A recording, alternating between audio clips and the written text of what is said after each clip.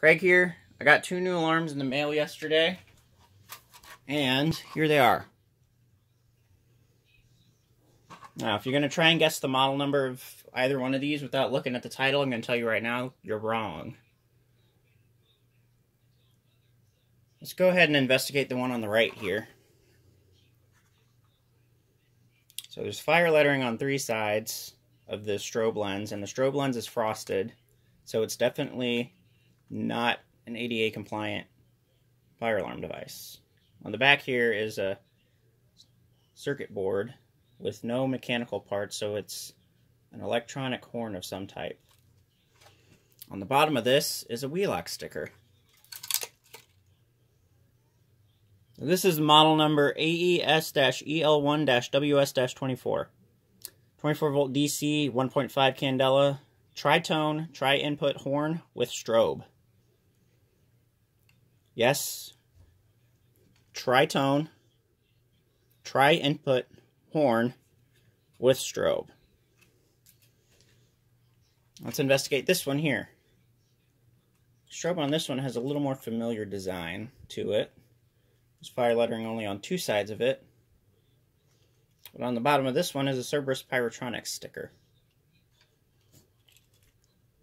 This is the model number AESM-E. 117 candela, 24 volt, tritone, tri-input horn with strobe. The Wheelock model number of this would be AES-EL1-WM-24.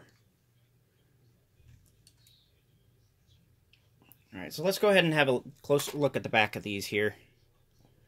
Um, literally everything on these is the same besides the strobe. Let's just look at the WM one here. So you have four sets of inputs down here. You have horn tone input, warble tone input, siren tone input, and then the strobe input. then there, up here is a four-way dip switch. I'll explain what that is here in a little bit. Now, um, unlike standard ES sounders, you don't have just the two inputs and then control tones with a dip switch up here. You don't have that. So this dip switch doesn't control what tones these put out. Um, what the dip switch does control, however, is which of these three inputs will also control the strobe. So yes, you can just run this device off of two wires if you wish. So let's say you wanted to just use the horn tone and you only had two pairs of wires that you could work with. Or rather, just two wires to work with in general. You don't need to use the strobe input here. Because in fact, if you do use the strobe input, obviously all you're going to get is a strobe flash. You won't get any horn. So, compensate for that, you just turn turn the first switch here on. now you can run the strobe off of the horn input.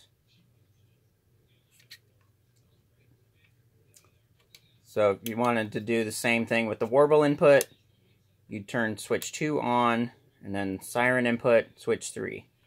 Switch 4 here is to control the volume. So if it's off, it's on low volume, you turn it on, it's high volume.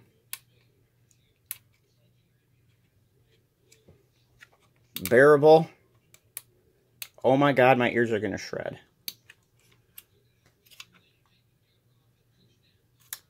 So yeah. Um, get power supplies out and some stuff, and we can go ahead and test these things out.